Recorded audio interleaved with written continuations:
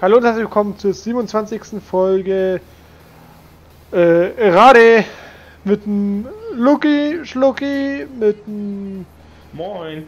mit dem mit dem Licht Katharina und mit dem Blitzer. Blitzer genannt. Warum Blitzer? Hä? Stimmt, da war ja was. Alles klar, moin, ich bin auch dabei. Wow.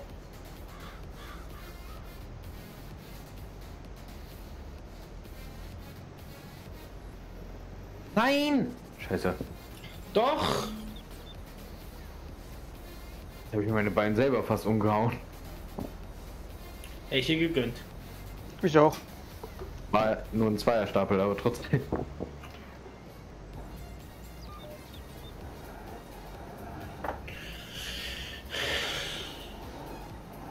So Philipp, und jetzt halt immer schön.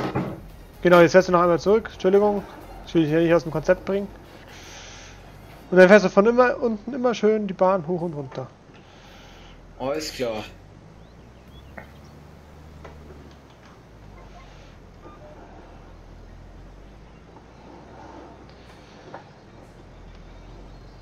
Äh, Lucky, ich muss ja sagen, ich bin ehrlich gesagt erstaunt, dass der Fendt das so vom Gewicht her und allem ohne Probleme packt. Entfernt. Äh. Ach, egal. Was solltest du wissen, welcher Feind? Nee, nee, nee, nee, ich wollte gerade sagen, weil du hast ja äh, vorhin noch gesagt, dass ein Fendt äh, das größte, das beste, das Ja, ja. mächtigste ist, was es gibt.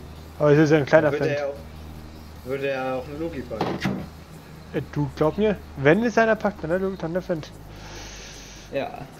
Der Johnny, äh, kritisch. Deswegen hat er letztens so komische Geräusche gemacht, als ich ein Gewicht von Luki rangehangen habe. Gewicht von Lucky, was? Ja, ich habe Lukis Gewicht auf einer Waage geguckt und dann halt ein Frontgewicht dran gehangen. Achso. Ich wusste gar nicht, dass Lucky sich mal gewogen hat. Lucky, Ja. Das verheimlicht ist, wieder wenn? Luki sich wiegt, muss ich dabei stehen, weil sonst sieht er die Zahlen nicht mehr. So. Hält das die Waage überhaupt aus? Wollte ich mal kurz. Ich will nicht sagen, aber... Äh, Leute, dumme, dumme Frage, dumme Frage. Warum sinkt das Niveau schon wieder so maßlos in den Keller?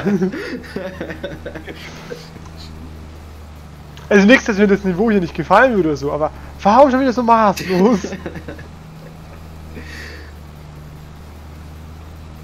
Um auf deine Frage zurückzukommen, wir haben so eine Traktorwaage, da konnte ich. Ah, okay, gut, dann ist ja. Ding ist, wir haben sogar wirklich eine. Äh. Wie viel davon da drauf? 40 Tonnen. Nicht, das ist die vom Kälberstall, die habt ihr eigentlich gesehen, aber die ist irgendwie für 15.000 irgendwie hingebracht worden und gekauft und alles mögliche und irgendwie bis jetzt noch nicht einmal benutzt worden. Du, ganz ehrlich, ich hat. vorbei, hol sie ab und verkauf sie auf Ebay. Aber ich will dafür nichts zahlen, gell? Und den Anhänger, der da rumstand, nehme ich auch noch mit. Welchen? Ja, nicht den kleinen. Ja, welcher? Der, der beim Kälberstall davor stand. So, ja, okay. Ich habe nur, ich hab nur den und den komischen Pferdanhänger gesehen. Oder den Vieranhänger. Daneben stand noch ein riesiger, aber Ja, der ist ja nicht fürs Auto. ja, deswegen frage ich ja, welchen du willst. Ja, nicht Ja. den kleinen, ja. Du Ja, bist den- du unser Miststreuer oder was? Also, nenn den Du, Miststreuer. ganz ehrlich, äh, welche Marke? Der Miststreuer. Ja. Das ist kein Miststreuer, wir transportieren nur immer Mist damit, deswegen nenne ich den Miststreuer. Achso, Das ist eigentlich nur ein ganz normaler Anhänger. achso. Nur ich mache da nichts anderes außer Mist von A nach B transportieren. Also. Ja, aber es hat trotzdem kein Miststreuer. Anscheinend schon, Lucky. Glaub mir, du kannst hinten eine Funktion noch dran bauen. Das Nur Ding weil du schon mal in einem Auto gepennt hast, ist doch nicht gleich ein Wohnmobil. Das Ding hat einen Lucky, Boden. Lucky, ich habe zwei Wohnmobils. Und ja, ich habe schon mal in dem Golf geschlafen. Für eineinhalb, für eineinhalb Stunden, weil ich auf einen Kollegen gewartet habe. Ich sag mal, Dass er eine Scheibe geklopft hat oder was? Nö, die Tür war ja offen. Ist ja der Türschloss kaputt. Dank den guten Herrn TÜV-Prüfer. Rumgepopelt oder was? Ja, was weiß ich, was der getrieben hat. Ich habe das Auto zum TÜV gebracht, hat alles funktioniert, bis auf das, was er bemängelt hat, und auf einmal ging die Tür nicht mehr zum Zusperren. Geil. Eieieiei. Du gibst komische Geräusche von dir, warum das? Okay, ich hab's geschafft. Ich hing gerade nur auf der Sinomauer, also aus. Wieso, weshalb, warum? Weil ich umgekippt bin. Er kippt nicht um. Das ist ähm, Stoff von dir, Luki. Eieiei, falscher Gang. Er schaltet einen runter. Hey, vielleicht sollte ich mal rückwärts fahren, anstatt vorwärts in meine Beine rein.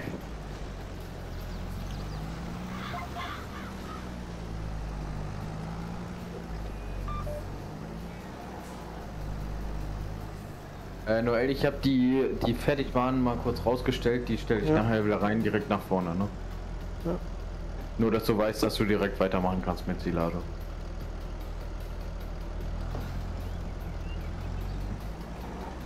Passt.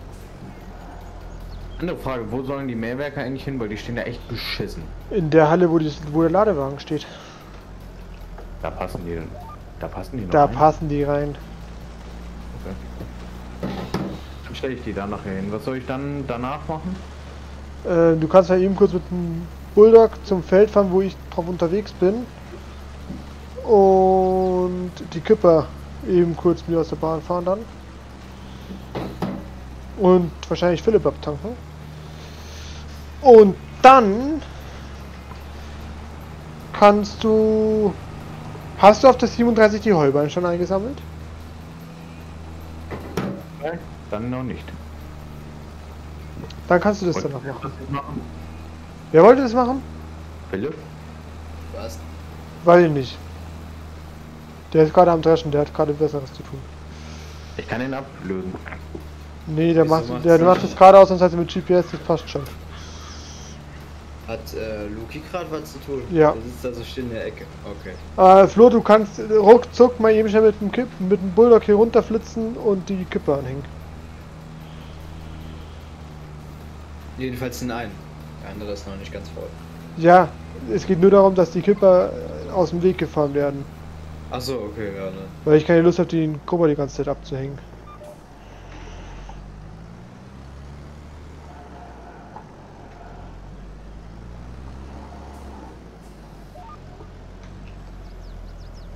Ist gerade aufgefallen, dass ich ja den Fan noch gar keine Stunden wirklich drauf gefahren hat. Er hat ja erst 2,6 Stunden.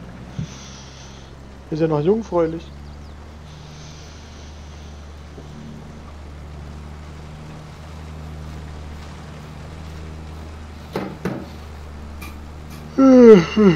Ich bin müde. Der Schlaf war dann ballert hart. Von 3 Uhr bis äh, 6.30 Uhr war aber doch nicht so ganz mein Ding. also ich bin fast in der Fahrschule eingeschlafen. Und das war echt hart. Hm. Konnte ich wirklich kaum noch halten. Da habe ich mein Handy so in der Hand und lasse sogar mein Handy schon fallen. Mm, das habe ich immer im Bus. Das ist auch scheiße. Du ganz Ich ehrlich, bin an dem Zug, aber dann habe ich nie Handy. Dann bin ich halt wirklich dafür vorbereitet, dass ich gleich einpenne. Ja, an sich schon. Also ich habe mir halt. Ja, ich bin- Beziehungsweise. ich bin auch immer, wo ich auch mit dem Bus in die Arbeit gefahren bin, habe ich auch immer im Bus gepennt. Habe mich der Busfahrer mal bei der Endstation geweckt, weil da musste ich aussteigen. War richtig angenehm eigentlich. Ich habe immer so gepennt, dass der Busfahrer mich sieht und ich einfach wieder weiterfährt und dann hat es gepasst. Ja. Flo, ich hoffe, du bist in einer Minute da. Ich bin unterwegs. Du bist zu weit gefahren. Ich hab's gerade gemerkt. Warum wundert mich das nicht? Weil ich auf mein Handy geguckt habe. Du darfst während der Fahrt nicht am Handy sein. Mach ich trotzdem. Du hast auch nicht mal einen Führerschein. Du darfst noch gar nicht während der Fahrt auch Handy Ja, also das Handy ist dann wohl mein geringstes Problem, oder mein so nicht? Glaub mir, das macht dir trotzdem zusätzliche Probleme. Ja, aber es ist trotzdem dann mein geringstes. Glaub mir, das Handy am Steuer ist teurer, als es, dass du ohne Führerschein fährst, weil das keine Geldstrafe ist. Einfach nur eine Führerscheinsperre. Ja, Ja. aber die kostet dir ja nichts. Damit will er sich ja sogar Geld sparen. Weil er kann ja keinen Führerschein machen. Das stimmt wohl. Das war abgemessen. Kannst du aufhören, weiter zu fahren? Mensch! Du! Ich drück dich weg, wenn du gegen mich fährst. Und ich sehe das Ganze aus sicherer Entfernung an. Ist das nicht schön? Ja, seid du mal leicht.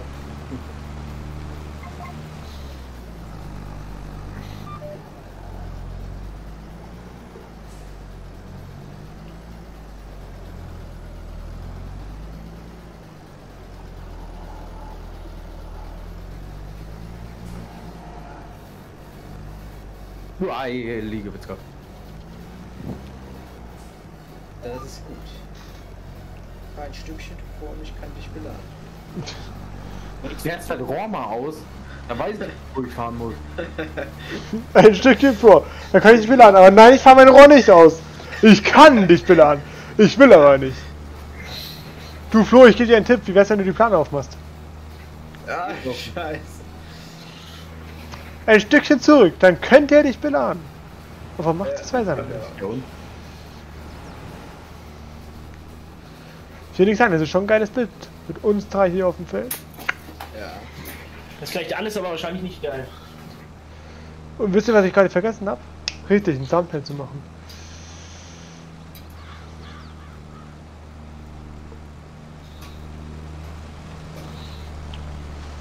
Ich hätte auch noch ein Bild auf Lager, wenn du willst. Von mir? Nein. Warum sagt denn eigentlich keiner, dass die Zeit auf 0,5 steht? Äh, lol.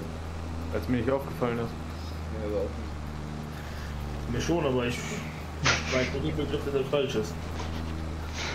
Warum war mir klar, dass das von Luki kommt? Ich bin halt wenigstens ehrlich. Ja.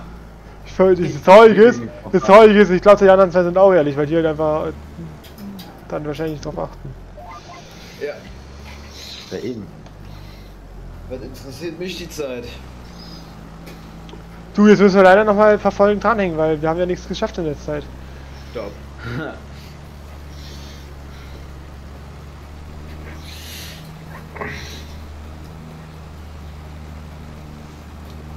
Ich sehe schon das nächste Mal, wenn die Zeit nicht auf 2 steht, in den Kommentaren.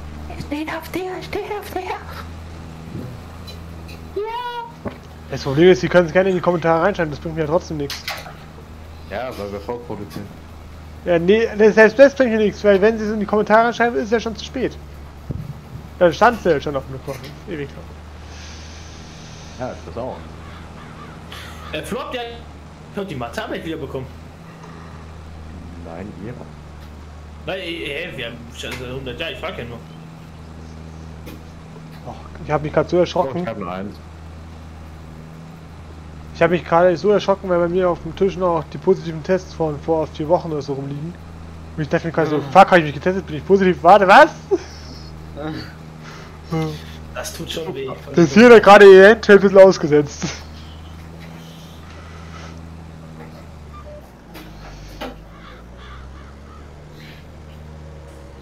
Oh, natürlich hat es nicht gepasst. Also Flo, habt ihr die doch wieder bekommen?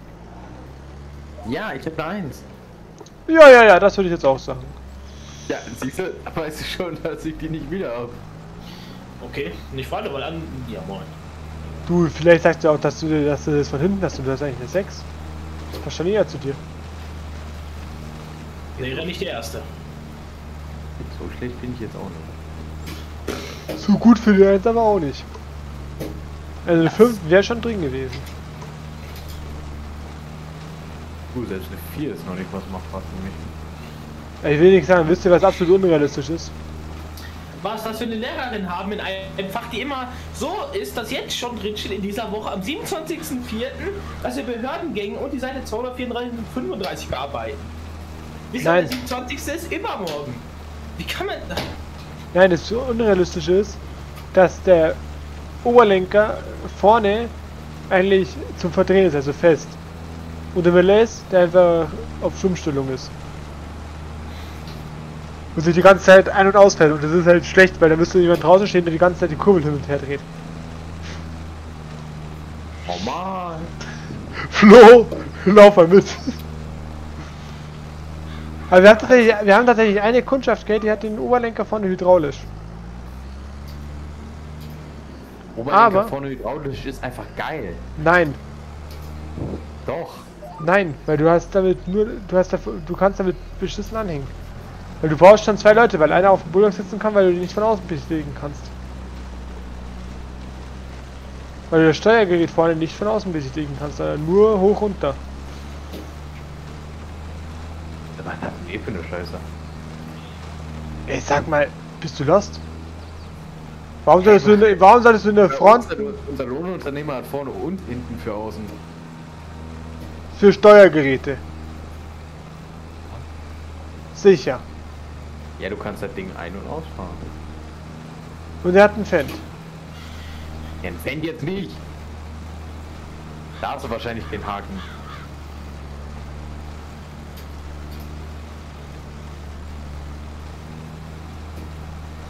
Ich sag mal so, hydraulischer Oberlenker in der Front ist absolut überflüssig, weil du den eh nicht brauchst, aber.